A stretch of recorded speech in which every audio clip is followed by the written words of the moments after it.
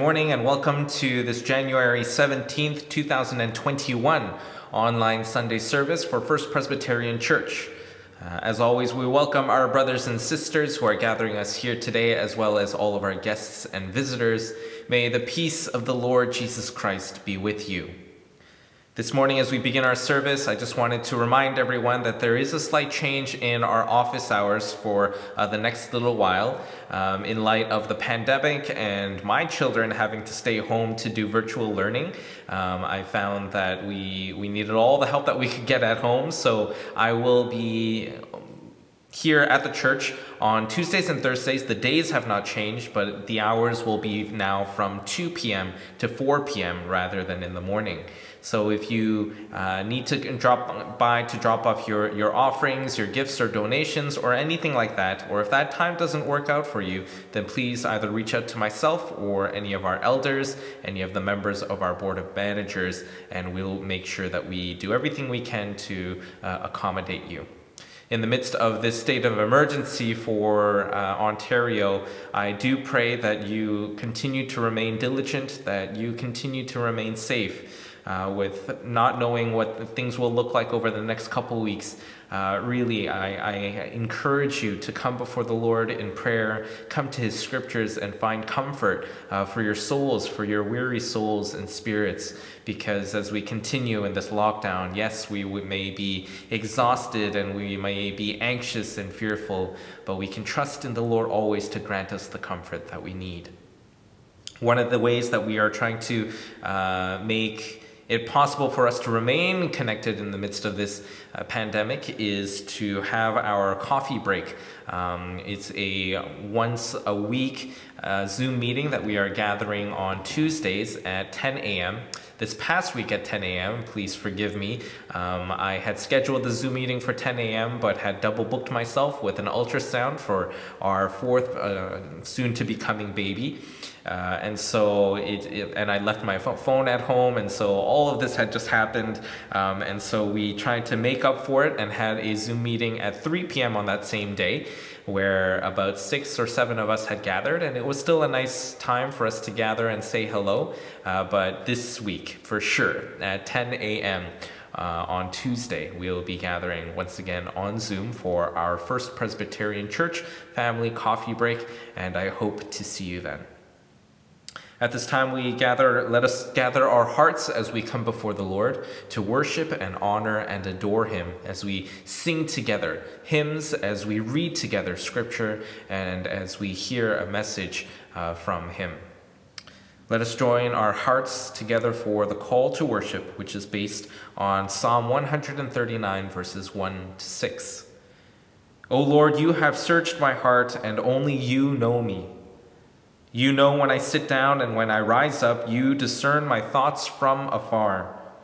You search out my path and my lying down and are acquainted with all my ways. Even before a word is on my tongue, you, O Lord, know it. You surround me and go behind and before me and lay your hand upon me. Such knowledge is too wonderful for me. It is high, so high, I cannot attain it. Let us come before the Lord in worship.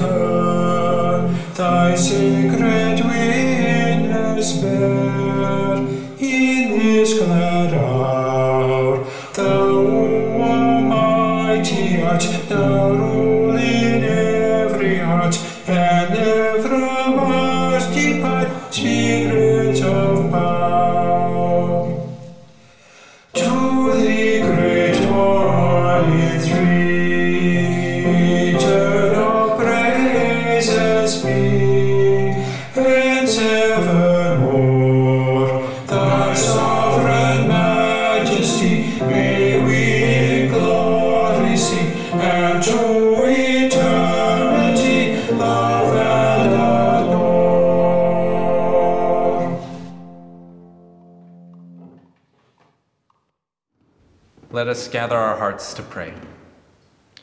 Lord, we gather ourselves to you. In this moment, we gather our hearts to you. We gather our minds and our spirits. And though we are not together physically, we, we gather as your body. Wherever we are right now, we ask that you would come and meet with us. We know that it is you who are inviting us into your home, into, into uh, your family, into your kingdom. It is you who are inviting us to worship you. You are coming to meet with us, O Lord. And so may we uh, have our heart and hearts softened this day as we come to worship and adore you.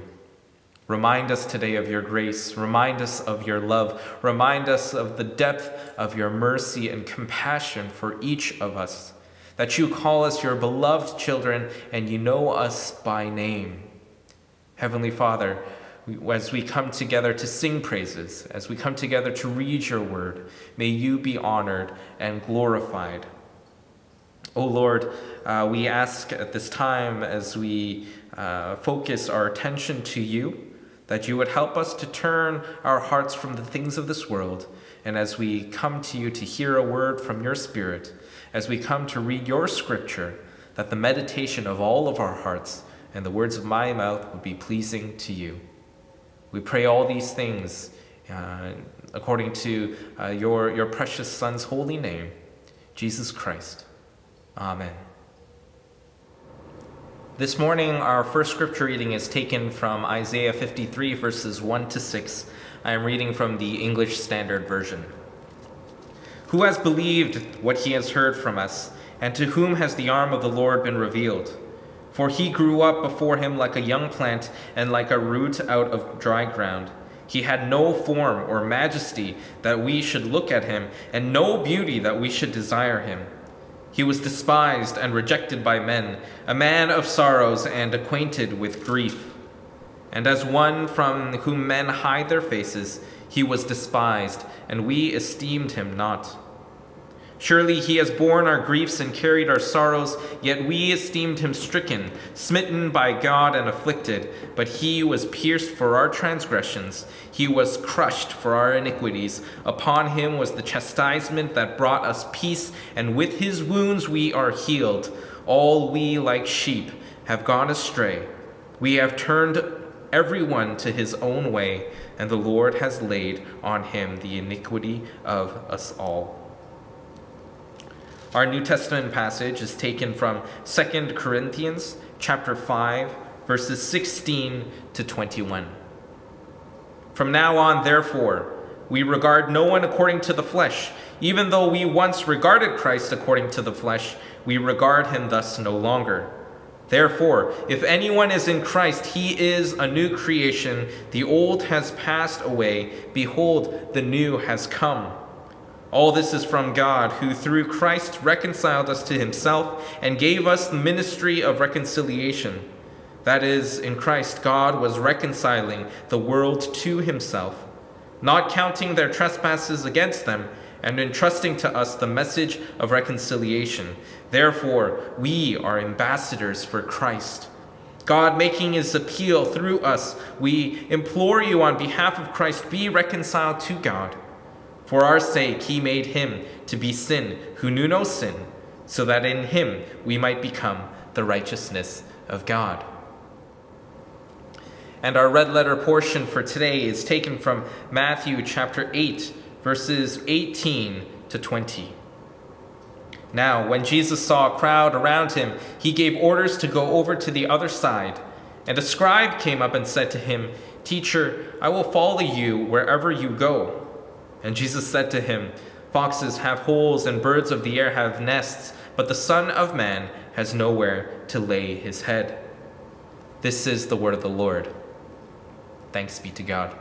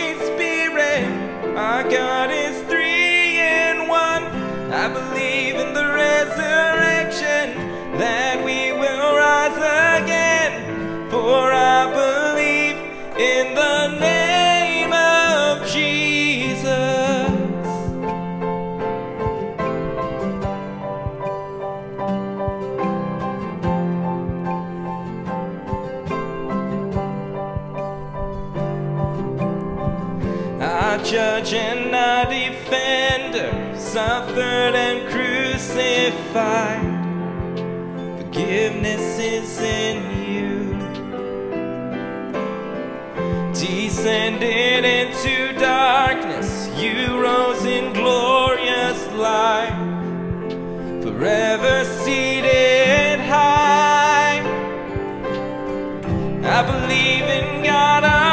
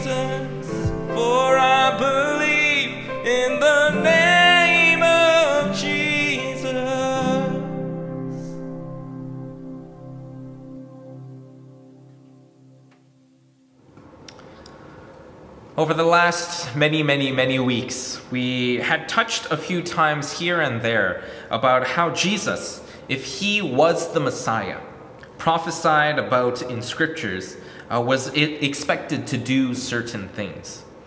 Of course, uh, we know through the writings of the gospel and the testimony of the disciples that Jesus was, is indeed the Messiah and Savior. But for most of the ancient Jewish people, Jesus was the return of the returning of a king. Um, he, it was a returning of a king to establish the pride and glory of the Jewish and Davidic kingdom. They believed that he would bring back the glory days of this kingdom. Uh, once again, they thought, we will get to go back to the good old days. This might hit close to home for us because as we pray and as we are patient, as we are waiting through this pandemic, we might be waiting and expecting Jesus to bring us back to the way things were, to, to bring us back to, to what was normal.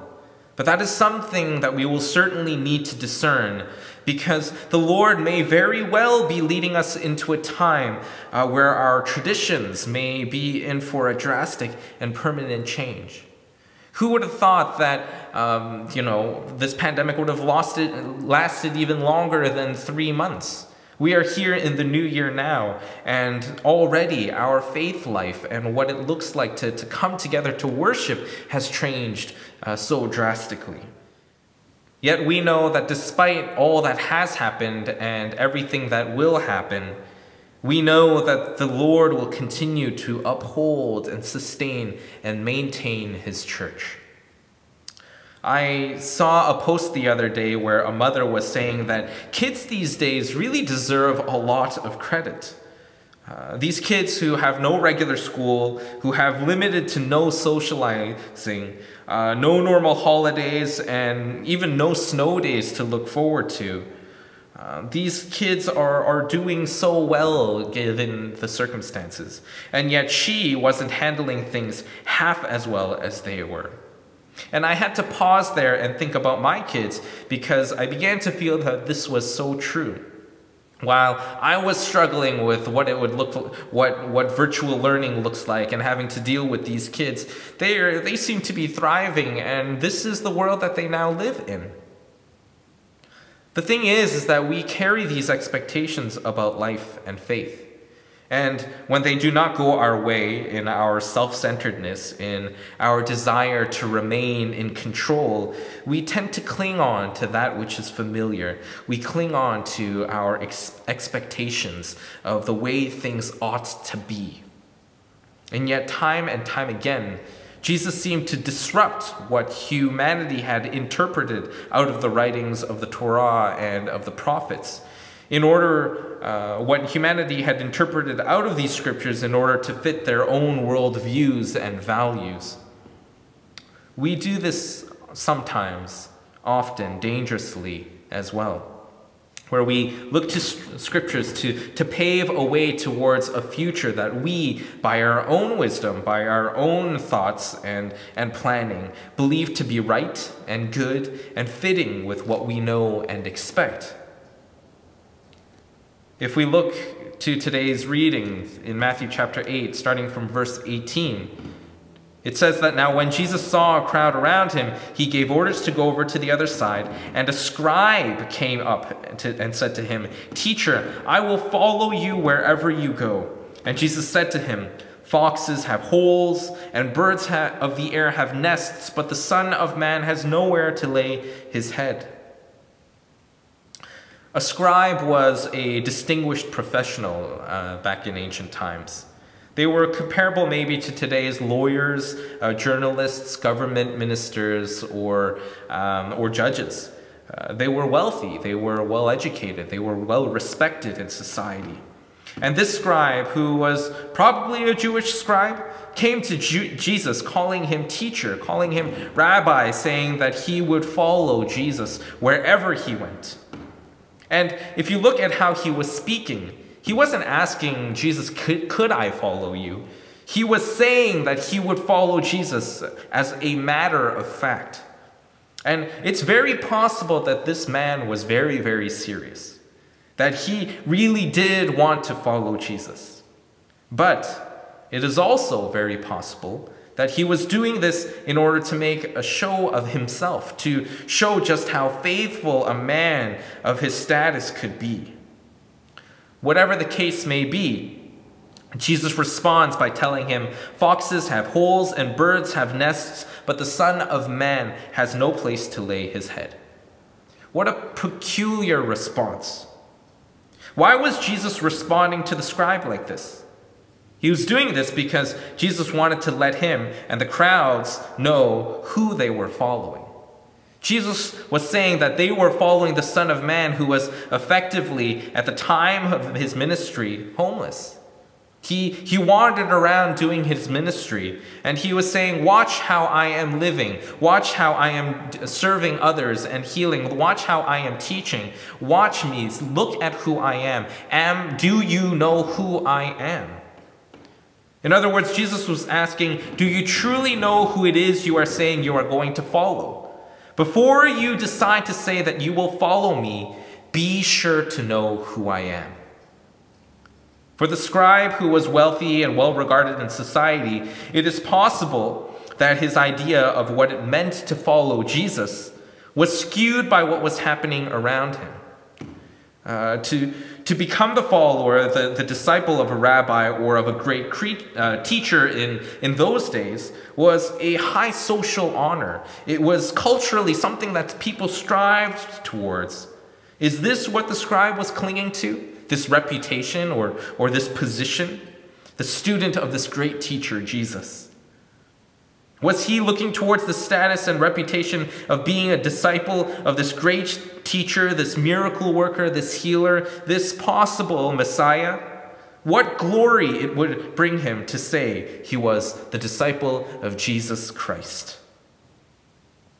Was he thinking of these kind of things rather than looking at Jesus and knowing who Jesus was?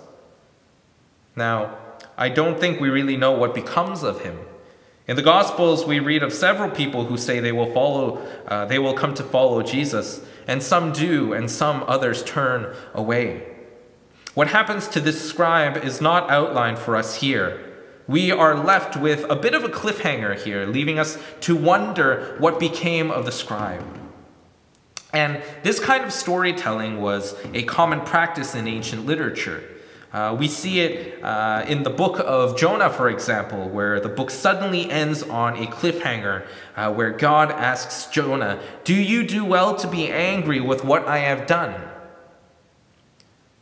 In the same way as Jesus asks the scribe, Do you know who you are following?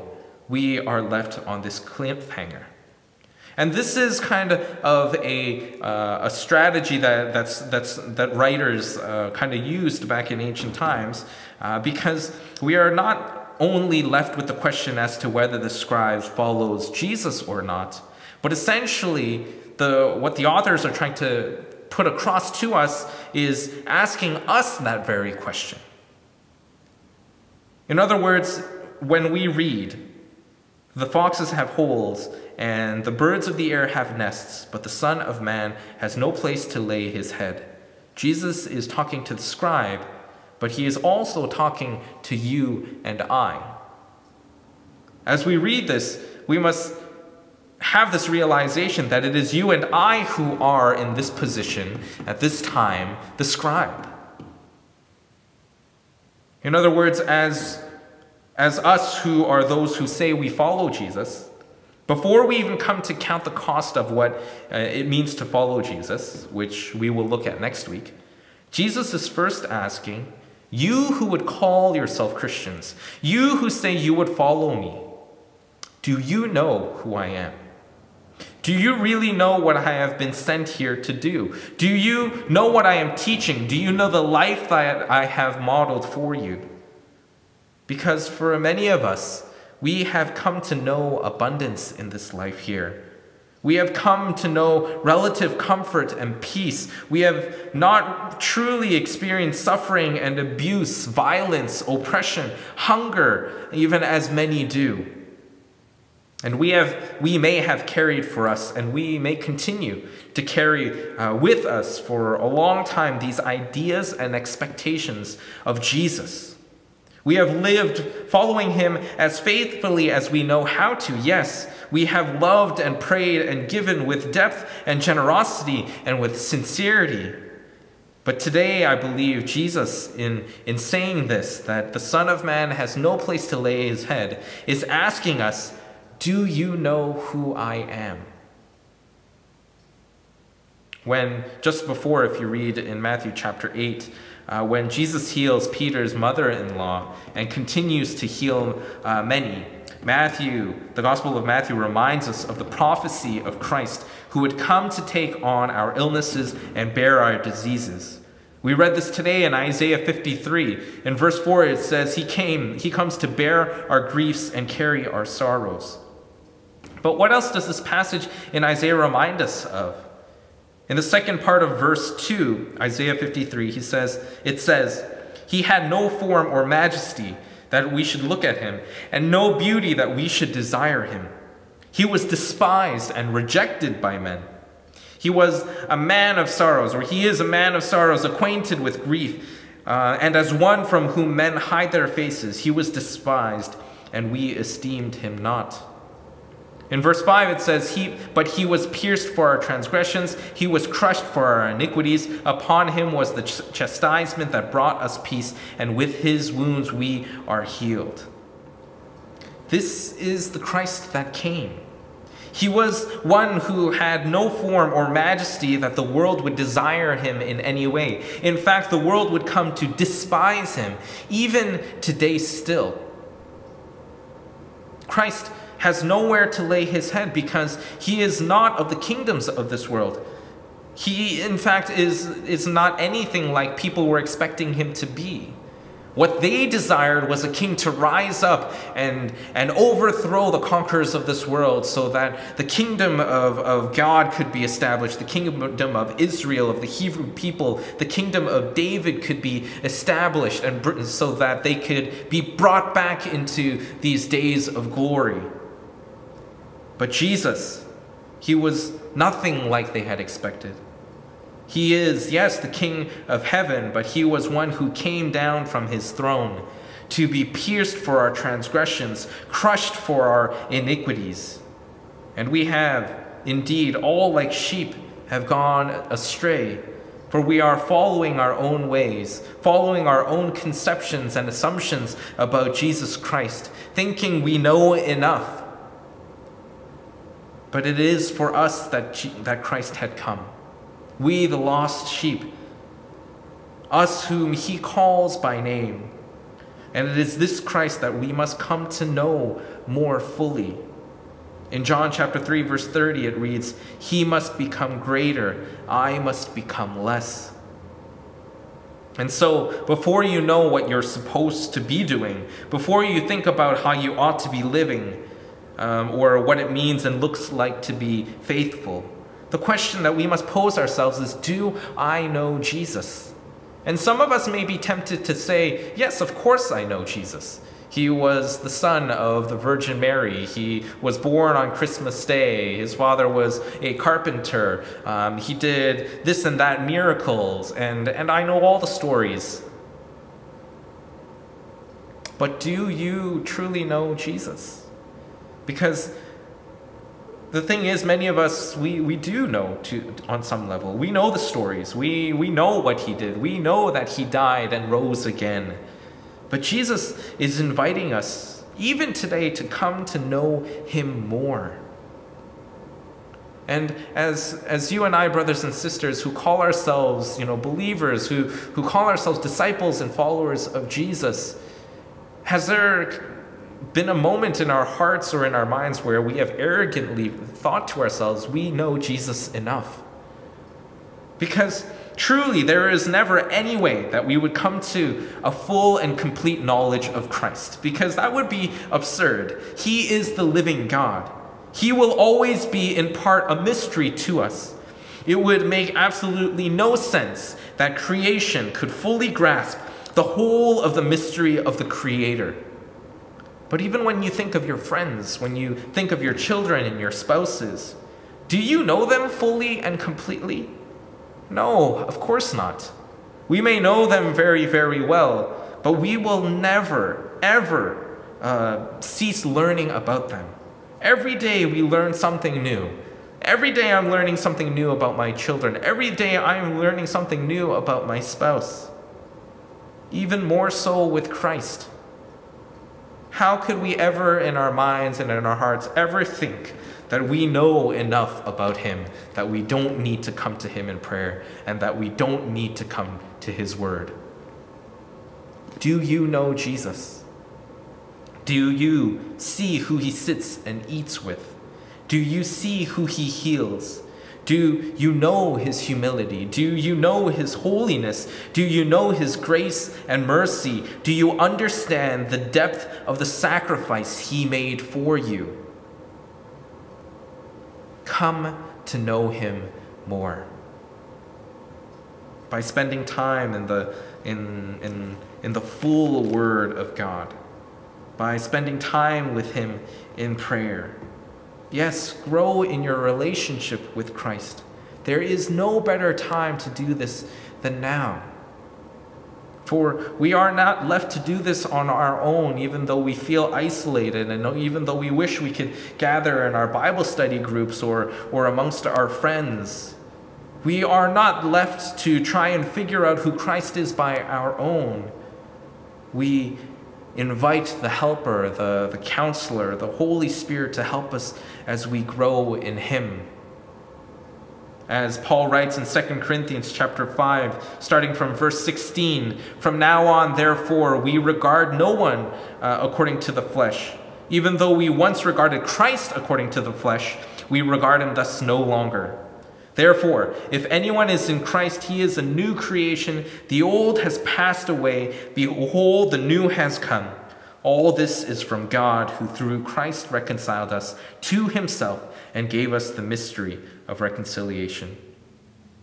We are created anew in Christ by the Spirit. We are not tied to our earthly understandings of the world or of God, even. And while the scribe would have only understood the Messiah according to, the, to this world and the flesh, we get to regard him this way no longer. We are re reconciled to Christ by the Spirit, which has renewed us and given us the eyes of faith to see beyond uh, what is just in front of us and into the promises of Christ found for us in Scriptures. When the scribe said, Teacher, I will follow you, Jesus says to him, Foxes have holes, and birds of the air have nests, but the Son of Man has nowhere to lay his head. As Paul wrote, to know Jesus is to be reconciled to him, to be reconciled to he who had nowhere to lay his head, to be reconciled to him clothed in his righteousness made new, not so that we could be of better social standing. Not so that we can proudly wear Christ's name on a jersey like our favorite hockey team, per se. Not for our own benefit, but for the benefit of whom? As Paul writes in verse 20, therefore we are ambassadors for Christ. God making his appeal through us. We implore you on behalf of Christ, be reconciled to God. For our sake, he made him to be sin who knew no sin, so that in him we might become the righteousness, not of ourselves, but become the righteousness of God. We come to know Christ. We grow in our knowledge of Christ. We grow in our relationship of Christ, becoming ambassadors for Him, for the benefit of God and His kingdom. Is this the life that you are willing to live? For you who have said to Jesus, uh, Jesus, I am willing to follow you. Do you understand what this means? Do you understand uh, what it means to, to follow the Son of Man who had nowhere to lay his head? whose home is not here. Who, uh, what does, to, do you understand what it means to, to be a disciple of this Messiah? We'll get to examine this a little closer next week. As we will get to see, there is certainly a cost to following Christ. But uh, as one of my favorite worship songs sings, we have counted up the cost of following Jesus, and we have determined that he is worth it. I have counted up the cost. I have counted up the cost, and you are worth it. Let us pray. thank you.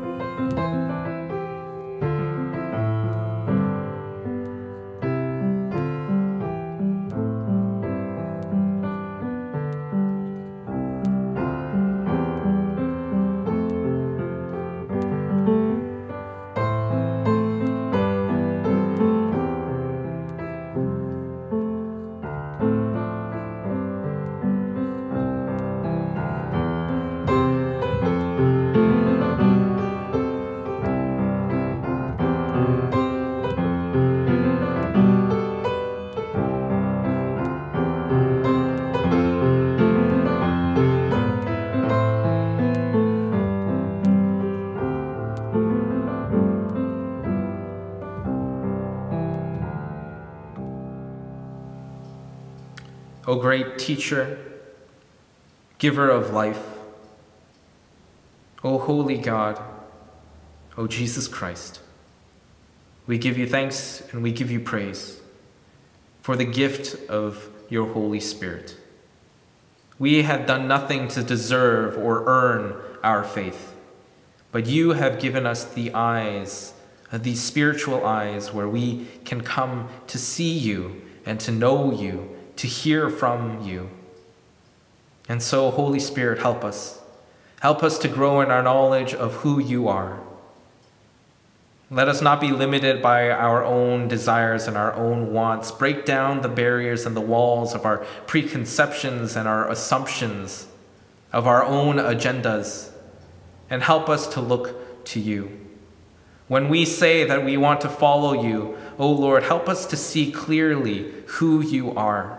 Before we can determine how we, are ought to, how we ought to live or what we are to do, let us see you clearly. Remove the scales from our eyes and soften our hearts.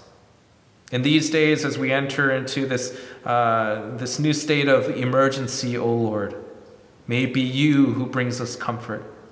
May we come to your word, may we come to you in prayer, and may we get a sense of your peace and of your presence, of your comfort and strength that upholds each of us. Teach us more of you. May you become greater so that we become less. May you become greater as we become less. We surrender ourselves to you. We pray for our brothers and sisters who are in need of your presence for those who are sick, for those who are hurting, for those who are in pain, for those who are sad, for those who are in mourning, for those who are grieving, for those of us who are exhausted. We pray for our first responders and our teachers and, and all of those in our community who, in, in such terrible circumstances, are doing so much for, for us we ask for your protection and your encouragement over them. Lord, we come before you knowing that we have put our faith in ourselves and put our faith in things of this world rather than you. We come before you with repentant hearts, asking us asking that by your Holy Spirit you would help us turn away from this world and back to you. Let us return to you today. Hear the confessions of our hearts as we have lift as we lift up every way in which we have been disobedient to you. Teach us to love, teach us to be patient, teach us to be kind. Teach us to be gracious as you have been gracious to us. For every gift that we bring to you, breathe upon it and use it to build your kingdom for your glory For those of us who wish we could give more and who were unable to give, receive our hearts as an act of worship that is pleasing to you. We lift up these prayers to you as we pray the prayer that you, O Lord, taught us to pray. Our Father, who art in heaven, hallowed be thy name. Thy kingdom come, thy will be done on earth as it is in heaven. Give us this day our daily bread, and forgive us our trespasses as we forgive those who trespass against us. And lead us not into temptation, but deliver us from evil. For thine is the kingdom, and the power, and the glory, forever and ever. Amen.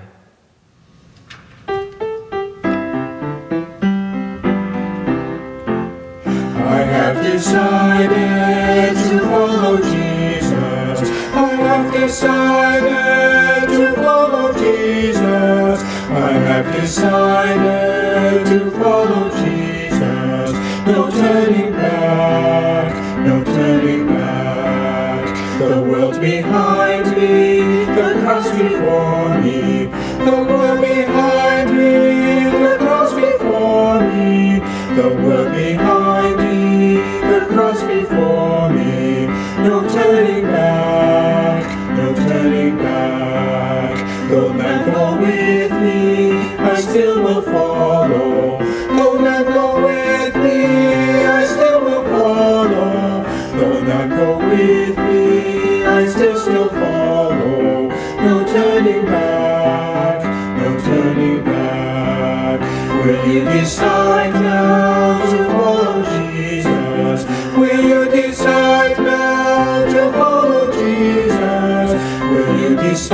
to follow Jesus? No turning back, no turning back.